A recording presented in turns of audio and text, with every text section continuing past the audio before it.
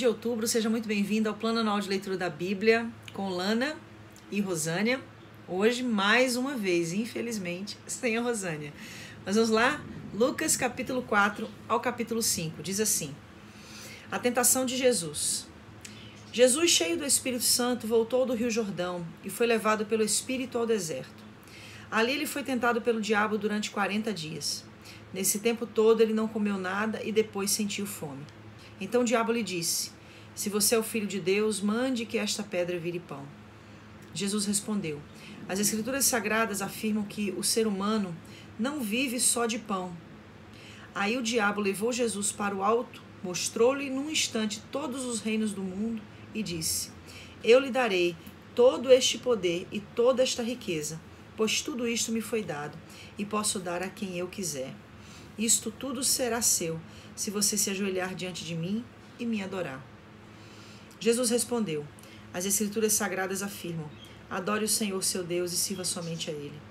Depois o diabo levou a Jerusalém e o colocou na parte mais alta do templo e disse: Se você é o filho de Deus, jogue-se daqui, pois as Escrituras Sagradas afirmam: Deus mandará que os seus anjos cuidem de você. Eles vão segurá-lo com as suas mãos para que nem mesmo seus pés sejam feridos nas pedras. Então Jesus respondeu: As Escrituras afirmam: Não põe à prova o Senhor seu Deus. Quando o diabo acabou de tentar Jesus de todas as maneiras, foi embora por algum tempo. Jesus começa o seu trabalho na Galileia. Jesus voltou para a região da Galileia e o poder do Espírito Santo estava com ele. As notícias a respeito dele se espalhavam por toda aquela região. Ele ensinava nas sinagogas e era elogiado por todos. Jesus em Nazaré. Jesus foi para a cidade de Nazaré, onde havia crescido. No sábado, conforme o seu costume, foi até a sinagoga. Ali ele se levantou para ler as Escrituras. E lhe deram o livro do profeta Isaías. Ele abriu o livro e encontrou o lugar onde está escrito assim: O Senhor me deu o seu espírito. Ele me escolheu para levar boas notícias aos pobres e me enviou para anunciar a liberdade aos presos, dar vista aos cegos, libertar os que estão sendo oprimidos e anunciar que chegou o tempo em que o Senhor salvará o seu povo. Jesus fechou o livro, entregou para o ajudante da sinagoga e sentou-se. Todas as pessoas ali presentes olhavam para Jesus sem desviar os olhos. Então ele começou a falar. Ele disse: Hoje se cumpriu o trecho das Escrituras Sagradas que vocês acabam de ouvir. Todos começaram a elogiar Jesus, admirados com a sua maneira agradável e simpática de falar, e diziam: Ele não é o filho de José? Então Jesus disse: Sem dúvida vocês vão repetir para mim o ditado: Médico, cure-se a você mesmo. E também vão dizer: Nós sabemos de tudo o que você fez em Cafarnaum. Faça as mesmas coisas aqui na sua própria cidade. E continuou: Eu afirmo a vocês que isto é verdade. Nenhum profeta é bem recebido na sua própria terra. Eu digo a vocês que, de fato, havia muitas viúvas em Israel no tempo do profeta Elias, quando não choveu durante três anos e meio, e houve uma grande fome em toda aquela terra. Porém, Deus não enviou Elias a nenhuma das viúvas que viviam em Israel, mas somente a uma viúva que morava em Sarepta, perto de Sidom. Havia também ali muitos leprosos em Israel no tempo do profeta Elias, mas nenhum deles foi curado. Só Naamã, o sírio, foi curado. Quando ouviram isso, todos os que estavam na sinagoga ficaram com muita raiva. Então se levantaram, arrastaram Jesus para fora da cidade e o levaram até o alto do monte, onde a cidade estava construída, para o jogar dali abaixo. Mas ele passou pelo meio da multidão e foi embora um homem dominado por um demônio. Então Jesus foi para Cafarnaum, uma cidade da região da Galiléia. Ali ele ensinava ao povo nos sábados. Eles estavam muito admirados com a sua maneira de ensinar, pois Jesus falava com autoridade. Havia um homem na sinagoga que estava dominado por um demônio. O homem gritou: Ei, Jesus de Nazaré, o que você quer de nós? Você veio para nos destruir? Sei muito bem quem é você. É o santo que Deus enviou. Então Jesus ordenou ao demônio: Calha a boca e saia deste homem. Em frente de todos, o demônio atirou o homem no chão e saiu dele sem lhe causar nenhum ferimento. Todos ficaram espantados e diziam uns aos outros: Que tipo de palavras são essas? Este homem com autoridade e poder expulsa os espíritos maus e eles vão embora. E as notícias a respeito de Jesus se espalhavam por toda aquela região. Jesus cura muita gente. Jesus saiu da sinagoga e foi até a casa de Simão. A sogra de Simão estava doente, com febre alta, e contaram isso a Jesus. Aí ele foi, parou ao lado da cama dela e deu uma ordem à febre: A febre saiu da mulher e no mesmo instante ela se levantou e começou a cuidar dele. Depois de anoitecer, todos os que tinham amigos enfermos com várias doenças os levaram a Jesus. Ele pôs as suas mãos sobre cada um deles e os curou. Os demônios saíram de muitas pessoas gritando: Você é o filho de Deus. Eles sabiam que Jesus era o Messias e por isso ele os repreendia e não deixava que falassem. Jesus anuncia a mensagem. Quando amanheceu, Jesus saiu da cidade e foi para um lugar deserto, mas a multidão começou a procurá-lo. E quando o encontraram, eles não queriam deixá-lo ir embora. Mas Jesus disse: Eu preciso anunciar também em outras cidades a boa notícia do reino de Deus, pois foi para fazer isso que Deus me enviou. E ele anunciava a mensagem nas sinagogas de todo o país. Jesus chama os seus primeiros discípulos. Certo dia, Jesus estava na praia do Lago da Galileia e a multidão se apertava em volta dele para ouvir a mensagem de Deus. Ele viu dois barcos no lago, perto da praia. Os pescadores tinham saído deles e estavam lavando as redes. Jesus entrou num dos barcos, o de Simão, e pediu que ele o afastasse um pouco da praia. Então sentou-se e começou a ensinar a multidão. Quando acabou de falar, Jesus disse a Simão: Leve o barco para o lugar onde o lago é bem fundo. E então você e os seus companheiros joguem as redes para pescar. Simão respondeu: Mestre, nós trabalhamos a noite toda e não pescamos nada. Mas já que o Senhor está mandando jogar as redes, eu vou obedecer. Quando eles jogaram as redes na água, pescaram tanto peixe que as redes estavam se rebentando. Então fizeram um sinal para os companheiros que estavam no outro barco, a fim de que viessem ajudá-los. Eles foram e encheram os dois barcos com tanto peixe que os barcos quase afundaram. Quando Simão Pedro viu o que havia acontecido, ajoelhou-se diante de Jesus e disse: Senhor, afaste-se de mim, pois eu sou um pecador. Simão e os outros que estavam com ele ficaram admirados com a quantidade de peixes que haviam apanhado. Tiago e João, filhos de Zebedeu, que eram companheiros de Simão, também ficaram muito admirados. Então Jesus disse a Simão: Não tenha medo, de agora em diante você vai pescar gente. Eles arrastaram os barcos para a praia, deixaram tudo e seguiram Jesus. Jesus cura um leproso. Certa vez, Jesus estava numa cidade onde havia um homem que tinha o corpo coberto de lepra. Quando viu Jesus, o leproso se ajoelhou diante dele, encostou o rosto no chão e pediu: Senhor, eu sei que o Senhor pode me curar se quiser. Jesus estendeu a mão, tocou nele e disse: Sim, eu quero, você está curado. No mesmo instante, a lepra desapareceu. Então Jesus lhe deu esta ordem: Escute, não conte isso para ninguém, mas vá pedir ao sacerdote que examine você. Depois, a fim de provar para todos que você está curado, vá oferecer o sacrifício que Moisés ordenou.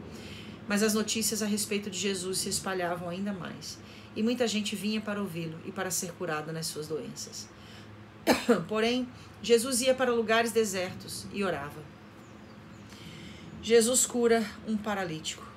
Um dia Jesus estava ensinando e alguns fariseus e alguns mestres da lei estavam sentados perto dele. Eles tinham vindo de todas as cidades da Galiléia e da Judéia e também de Jerusalém. O poder do Senhor estava com Jesus para que ele curasse os doentes. Alguns homens trouxeram um paralítico deitado numa cama e estavam querendo entrar na casa e colocá-lo diante de Jesus. Porém, por causa da multidão, não conseguiram entrar com o paralítico. Então carregaram para cima do telhado, fizeram uma abertura nas telhas e o desceram na sua cama em frente de Jesus no meio das pessoas que estavam ali. Jesus viu que eles tinham fé e disse ao paralítico: Meu amigo, os seus pecados estão perdoados. Os mestres da lei, os fariseus, começaram a pensar: Quem é este homem que blasfema contra Deus desta maneira? Ninguém pode perdoar pecados, só Deus tem esse poder. Porém, Jesus sabia o que eles estavam pensando e disse: Por que vocês estão pensando assim? O que é mais fácil dizer ao paralítico: Seus pecados estão perdoados? Ou Levante-se e ande, pois vou mostrar a vocês que eu, filho do homem, tenho poder na terra para perdoar pecados. Então disse ao paralítico: Eu digo a você, levante-se, pegue a sua cama e vá para casa. No mesmo instante, o homem se levantou diante de todos, pegou a cama e foi para casa, louvando a Deus. Todos ficaram muito admirados e cheios de medo, louvaram a Deus, dizendo: Que coisa maravilhosa nós vimos hoje. Jesus e Levi. Depois disso, Jesus saiu e viu um cobrador de impostos chamado Levi sentado no lugar onde os impostos eram pagos. Jesus lhe disse: Venha comigo. Levi se levantou, deixou tudo e seguiu Jesus. Então Levi fez para Jesus uma grande festa na sua casa. Havia ali muitos cobradores de impostos e outras pessoas estavam sentadas com ele. Os fariseus e os mestres da lei, que eram do partido dos fariseus, ficaram zangados com os discípulos de Jesus e perguntaram: Por que vocês comem e bebem com os cobradores de impostos e com as outras pessoas de má fama? Jesus respondeu: Os que têm saúde não precisam de médico, mas sim os doentes. Eu não vim para chamar os bons, mas para chamar os pecadores, a fim de se arrependerem dos seus pecados. Jesus e o jejum. Algumas pessoas disseram a Jesus: Os discípulos de João Batista jejuam muitas vezes e fazem orações, e os discípulos dos fariseus fazem o mesmo. Mas os discípulos do Senhor não jejuam. Jesus respondeu: Vocês acham que podem obrigar os convidados de uma festa de casamento a jejuar enquanto o noivo está com eles? Claro que não. Mas chegará o tempo em que o noivo será tirado do meio deles, então sim, eles vão jejuar. Jesus fez também esta comparação. Ninguém corta o um pedaço de uma roupa nova para remendar uma roupa velha. Se alguém fizer isso, estraga a roupa nova, e o pedaço de pano novo não combina com a roupa velha. Ninguém põe vinho novo em odres velhos. Se alguém fizer isso, os odres rebentam. O vinho se perde e os odres ficam estragados. Não, vinho novo deve ser posto em odres novos. E ninguém quer vinho novo depois de beber vinho velho, pois diz: o vinho velho é melhor. Eu já imagino que quem acompanhou a leitura aqui agora já sabe do que, é que eu vou falar. Lá em Lucas 4, a gente vê ali já a tentação de Jesus Cristo no deserto. E a palavra fala que depois que o, diabo tenta ele por três vezes, no versículo 13 diz assim: ó, Quando o diabo acabou de tentar Jesus de todas as maneiras, fui embora por algum tempo. Você já parou para pensar o quanto que é revelador essa palavra? Porque por trás de tudo, todo aquele esquema religioso, por trás de toda aquela rejeição, por trás de toda aquela perseguição, por trás de todas as tentativas de ser morto que Jesus vivenciou, por trás de tudo aquilo que veio para buscar dificultar o seu ministério, estava uma ação maligna? Será que a gente consegue enxergar isso? Aqui no capítulo 4, no deserto, Satanás ele se apresenta pessoalmente. É ele quem vem, é ele quem fala para Jesus transformar a pedra em, em, em, pão, é ele quem fala para Jesus é, se prostrar diante dele e adorá-lo, para então ele lhe encher de riquezas. Muita audácia, né? Ele que é o dono do ouro e da prata. É, em seguida, Satanás vai e manda ele subir ao alto do pináculo do templo para se jogar dali, porque o Senhor o livraria. Então, depois dessas três tentações em específico descritas, a palavra de Deus diz que ele vai embora, mas por algum tempo. Ou seja, dentro de todas essas circunstâncias que Jesus vivenciou, na busca por levar o evangelho, por cumprir a missão, toda a resistência que ele evidenciou, sem sombra de dúvida, o que estava por trás de tudo isso era Satanás. Algo me chamou a atenção muito aqui, no capítulo 4 ainda, que eu quero compartilhar com você. Não sei se você se ligou quando a gente leu essa parte aqui, quando eu li essa parte. Jesus tinha acabado de falar é, para o seu povo, para aqueles que eram os seus patriotas, né? Ele, ele estava na terra ali onde ele havia crescido. E aí ele fala que o profeta não tem honra na sua casa. E aí ele fala, por exemplo, da, da viúva, ele fala de Naamã que foi curado.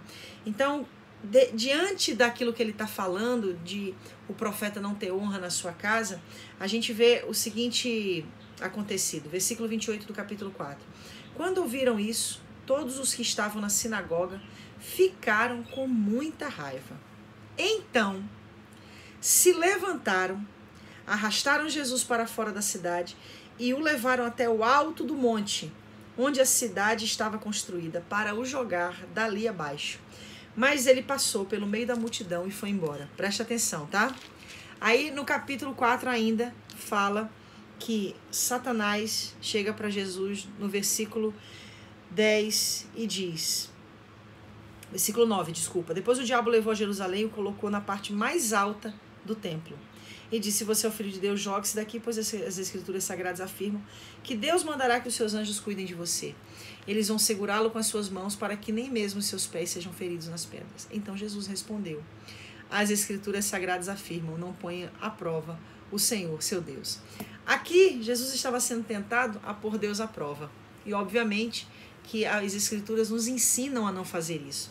Posteriormente, a gente vê Satanás usando aquela multidão de pessoas, usando a religiosidade daquelas pessoas, a cegueira espiritual daquelas pessoas, para levá-lo levá-lo até o lugar mais alto do monte da cidade onde ele estava. Olha só que interessante. Então se levantaram, arrastaram Jesus para fora da cidade e levaram até o alto do monte onde a cidade estava construída, para o jogar dali embaixo. Mas ele passou pelo meio da multidão e foi embora. Foi ele que foi até o alto desta cidade, no monte onde essa cidade estava edificada, para se jogar dali de cima? Não. Ele foi arrastado para ser lançado por aquela multidão insana abaixo. E aí a gente vê Deus entrando com providência e ele conseguindo sair no meio daquele tumulto entre as pessoas, certamente sem ser visto, guardado pelo Senhor e livre. Porque não era daquela maneira que ele, ele, ele iria morrer, não era daquela forma que ele havia vindo para morrer. E aí, obviamente, começa-se a, a ver no nosso coração alguns questionamentos. Quando a Bíblia fala assim: o diabo foi embora por algum tempo. Quantas pessoas que têm medo, não é verdade, do, do, do, do Satanás? Quantas pessoas que têm medo do diabo? E a vida como Jesus viveu, sem sombra de dúvida, ela é a referência de como nós podemos viver sem ter medo de Satanás. Só existe uma maneira de nós sermos imunes ao diabo. E essa única maneira Jesus revela ali na tentação do deserto. É tendo o está escrito no coração. Quando você tem o está escrito no seu coração, você nunca vai ser tentado a transformar pedras em pães. Por quê? Porque muitas vezes a gente para para enxergar que o que Satanás estava pedindo para Jesus fazer era algo totalmente incoerente. Como que a pedra poderia ser transformada em pão? A natureza da pedra é pedra, a natureza do pão é pão. Então, Satanás estava pedindo para Jesus fazer algo que era impossível de ser realizado, mas não no sentido de que Jesus não pudesse. Jesus pode fazer o que quiser, ele pode transformar água em vinho, ele podia transformar pedra em pão, mas é no sentido de ele fazer aquilo, né, da pedra transformar em pão para provar que é o filho de Deus. Quanta gente fazendo coisas para provar que é aceito, tanta gente fazendo aquilo que não precisa ser feito para provar que é cheio do Espírito Santo, para provar que é aceito por Deus. Então aqui a gente enxerga que Jesus já sabia quem ele era. Ele não precisava provar nada para o diabo. A única pessoa que, para quem a gente precisa viver para agradar é a Deus. Tem tantas pessoas que estão perdendo a alegria e a felicidade na vida, vivendo, buscando provar para os outros alguma coisa. Mas Jesus viveu completamente desassociado dessa necessidade de provar para os outros o que ele era. Ele vivia para provar para Deus que ele veio para cumprir a missão para o qual foi enviado. A gente vê também ele falando do está escrito, quando ele diz, né, que só o Senhor seu Deus adorarás e só a Ele prestará culto. Então, esse está escrito nos livra de idolatrarmos o nosso próprio eu, o nosso próprio ego, de idolatrarmos coisas passageiras, de idolatrarmos aquilo que não deve ser adorado, porque somente a Deus, somente ao nosso Senhor, nós devemos render ações de graças e culto, somente a Ele. E por fim, não tentar ao Senhor teu Deus, não é verdade? Porque se lançar do alto do, do pináculo do templo, Deus não havia mandado fazer aquilo, tampouco ele estaria sendo conduzido a provar que era o filho de Deus, se fazendo isso buscasse ser livre, porque sem sombra de dúvida, Deus é aquele que sim nos livra de todos os males, mas nós precisamos entender o que Jesus disse. Não ponha à prova o Senhor seu Deus, ou seja, não faça aquilo que Deus não mandou você fazer. E aí eu completo dizendo: Jesus viveu uma vida de completa vitória sobre as tentações, sobre o pecado, sobre Satanás e sobre os seus demônios. E ele só conseguiu viver essa vitória porque ele tinha o está escrito no, no seu coração. Paremos de discutir a Bíblia.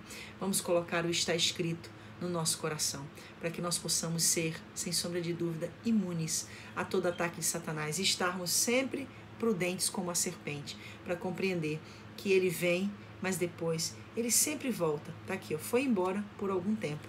Então ele vai sempre estar buscando de alguma maneira interferir no que Deus tem para nossa vida. Mas aquele que tem o está escrito não perde o alvo, não perde o foco. Que Deus te abençoe. Até amanhã.